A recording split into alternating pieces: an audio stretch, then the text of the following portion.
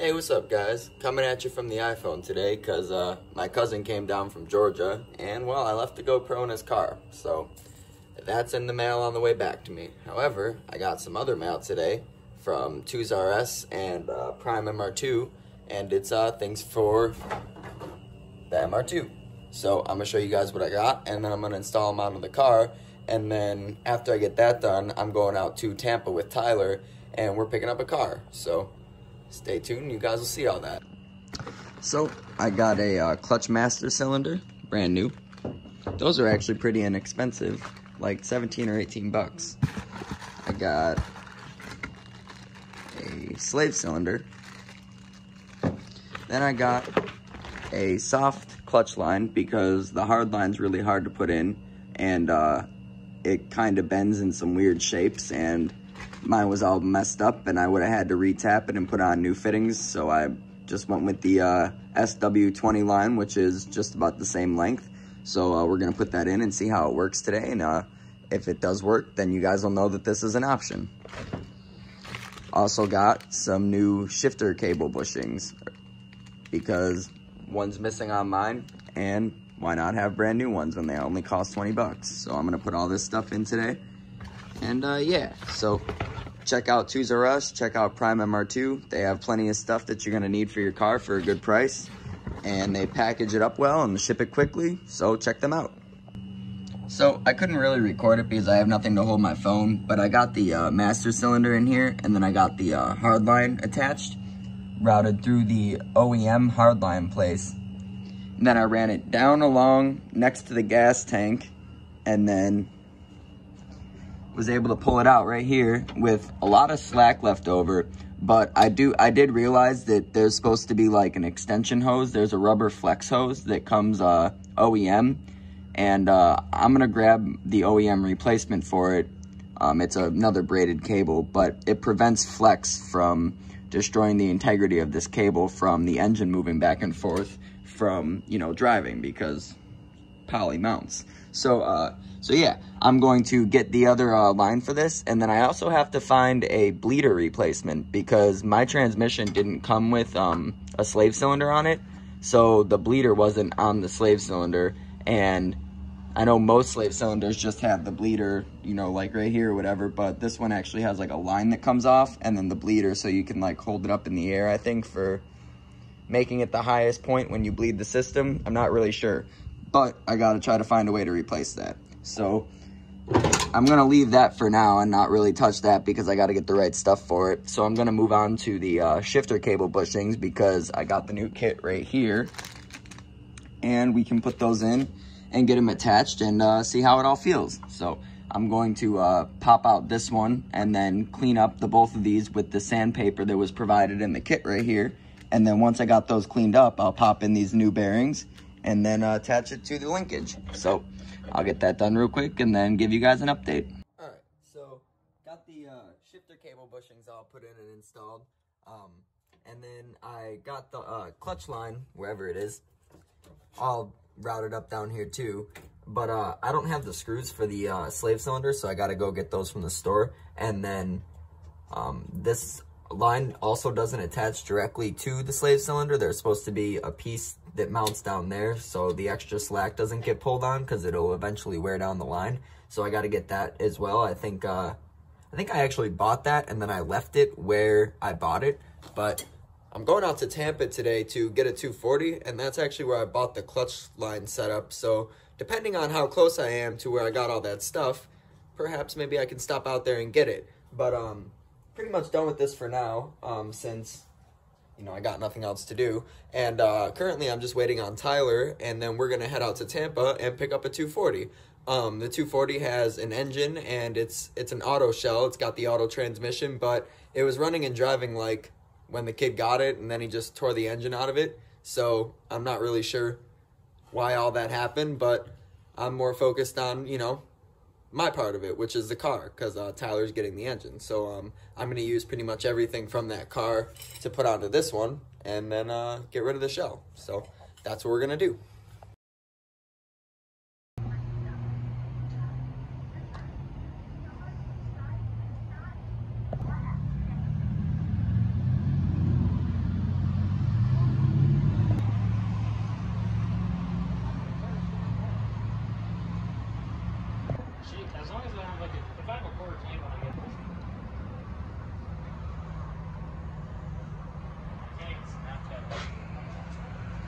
All right, so we got the 240 back, and this thing's in better condition than I thought. So it's got 80K on the uh, odometer. It's a single owner. It was bought off the lot by the grandma who owned it for the last uh, 27 years. And uh, yeah, so besides the engine that Tyler now has, um, the fender, the hood, and some of the interior bits are gone. But other than that, um, it's got pretty much everything else. Uh, it's got an auto trans. It's got the uh, full engine harness, injectors. It's got an exhaust system in there. Uh, it's you know it's got pretty much everything. So um, I'm going to uh, take everything that I need off this car to uh, make the coupe run, and then I'm going to probably put this back up for sale because uh, for what I got it for, um, there's pretty much no way I can't make money. Um, so yeah, I'm pretty much going to uh, start getting to that, and then once I got everything off, I'm gonna take it all back to the house and start putting it on the coupe because um yeah i want to get that running really really bad. And uh now i got a car that literally has pretty much everything i need even down to the oem exhaust. So um so yeah i'll show you guys the car a little bit and then i'm gonna start tearing the stuff off. If you come in the car here you look at the dash it's only got 81,000 miles on it everything's in pretty good condition. Unfortunately, the dash is uh, pretty cracked up, but even the uh, dash vent's in really good condition. So there's that. It's still got the uh, stock stereo. Um, but yeah, I'm even going to take out all the AC stuff and put that in the coupe too because uh, this is Florida and uh, it's really hot out and we need AC. If you look down there, still got the ECU in here, but it's a 25, not a 28, and it's a auto ECU, so got to look in to see if that works. Glove box still works. The uh, passenger side door panel is really mint, and the window works really well, but this one's kind of torn up. And then, uh, yeah, got all the other stuff back here. It came with the uh, OEM tire stopper, which is pretty neat. I think that's cool. I'm probably going to uh, restore that just because it's a cool piece to have and it kind of looks like crap right now. So, yeah. So that's how she sits right now. They even got the uh, the add-on pinstripe put on from uh, the dealership, which I thought was pretty neat. Um, the person who I bought it from sprayed a lot of the car down with like a rust oxidizer paint to prevent, I guess, some of the surface rust that he saw. Um, I think he went a little overboard with it, but you know, 16 year olds with spray paint cans, what do you expect? But uh, yeah, this, this hatch is actually really nice too. So I'm thinking about taking this and just keeping it on hand because uh, I got another one I can throw on here that's in a lot worse shape and it's just been sitting in my backyard. And this one doesn't have spoiler holes or anything. It doesn't have rust anywhere. So uh, probably gonna keep that. And then uh, yeah, so that's that's what we're working with with the car. So for a car with 80,000 miles, you'd think that it would be in better condition in the areas that it's not in better condition. And then, uh, yeah, I think that's a little strange, but at least it's got everything there still. So I'm gonna start pulling the car apart and get the dash out, get the harnesses out, get the AC stuff out, and uh, go from there. All right, so I got the exhaust out, put it on the ground over there. Then I jacked it up and I got the transmission out. So now that those are out, I thought I would have been able to uh, push the car around, but Dylan's driveway is pretty steep, so I can't really push it up by myself. Um, so yeah, so I'm gonna start pulling out the power harness, and then once I get the power harness out, I'm going to uh, see what's next. But basically, all this stuff has to come out and go into my coupe. So I just got to make sure I take it out and remember how it goes in. So. All right, so I got the 240 in the garage. Uh, we didn't have very many hands, so I put a comforter on the back bumper and pushed it in with the SC300. It worked very well. So uh, now that I have that in here and it's the next day, I'm going to uh, pull off the fenders and the bumper and I'm going to start pulling out the uh, chassis harness and then I'm going to pull off um, as much of the fuel system as I can because I, I don't think my car actually even has fuel hard lines to run. And then uh, I'm going to pull off the brake lines and pretty much anything else you see in here that I would need to run a KA. So, um, so yeah, I'm going to get to work on this and catch up with you guys in a little bit.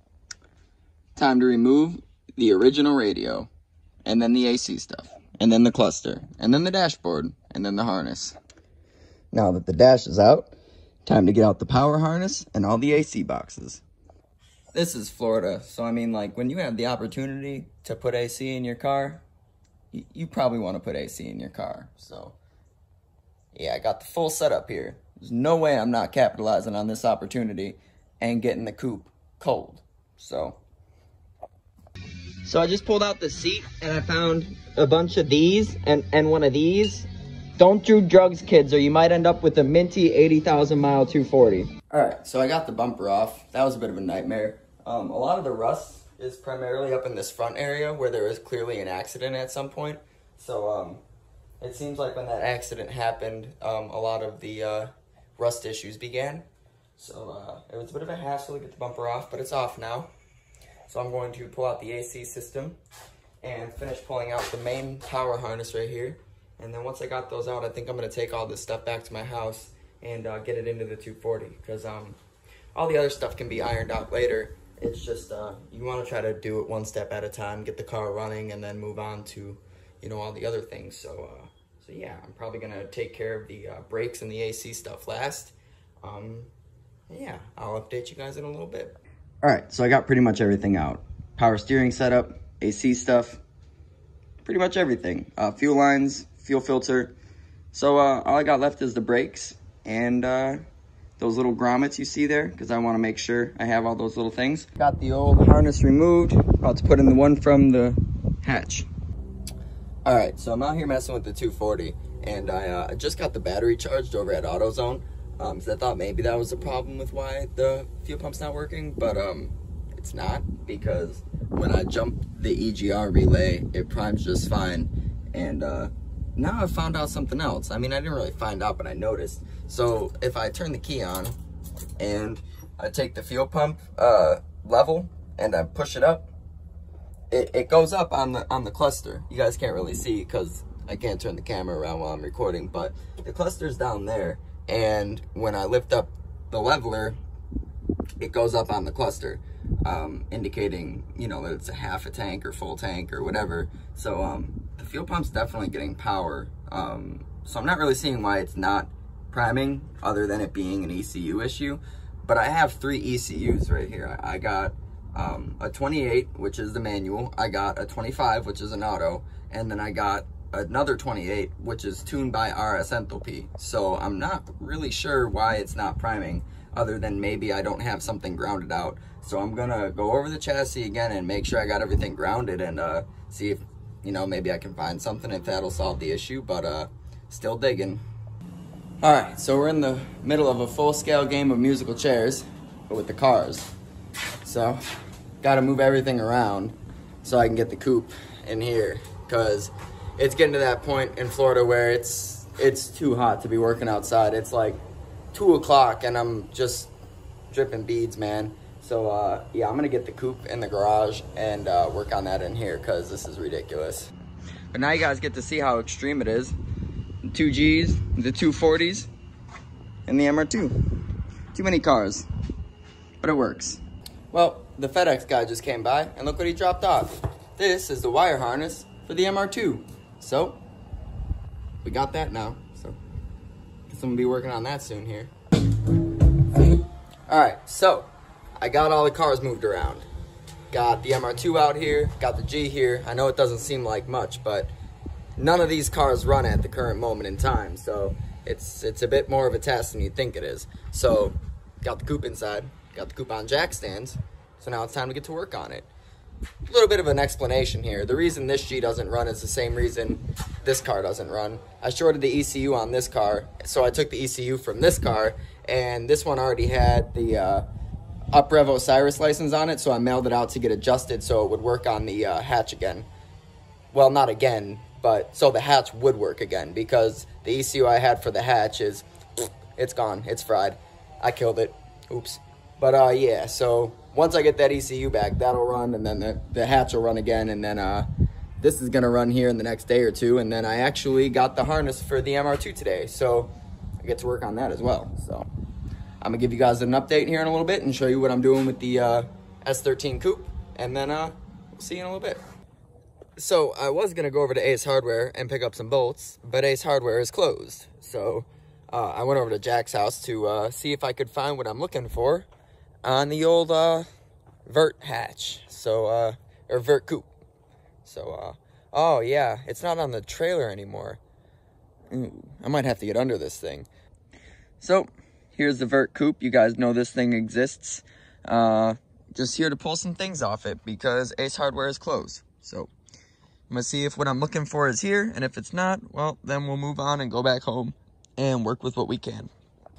All right, so one of the things that I need on the car is there. So the manual clutch pedal has a button on it, so when you press the uh, pedal in, it tells the car that it's ready to start. Uh, mine doesn't have that, so I need to come back over here, and I think I'm just gonna remove the whole pedal and then uh, pull the thing off when I get home, because I can't really get a wrench behind it, and it's super rusty, so I'd rather spray it down with some WD-40 and clean it up before I uh, try to wrench it off there, because I really don't want to break it and have to buy a new one, so gonna get my tools right now from the car and then go back over there and grab it. Okay, so after hours and hours of troubleshooting, I finally figured it out. Um, it's gonna sound stupid, but it was grounds. I've never really messed with a 240 before, so just bear with me here. So, uh, oh, I forgot my keys. Hey, let me get those keys, wherever they are.